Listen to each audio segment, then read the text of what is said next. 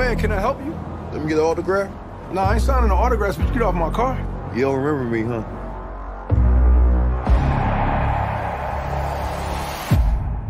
Damien. How long were you locked up?